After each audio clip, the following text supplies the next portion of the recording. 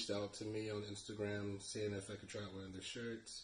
I figured why not. Um, the shirt's going through about three workouts by now, um, and also a wash. It's held up pretty well. Um, the material is pretty thick, a little bit thicker than you would find maybe for like Under Armour and other brands. Um, but it's not really heavy, so it's gone through all those workouts, and I was even able to peel it off when I was done, even with the sweat. Um, and then for the most part, it keeps its shape, It doesn't like stretch out or anything like that. The printing on it is pretty decent. Um, and then also too, um, it pretty much stays true to its size to where it is.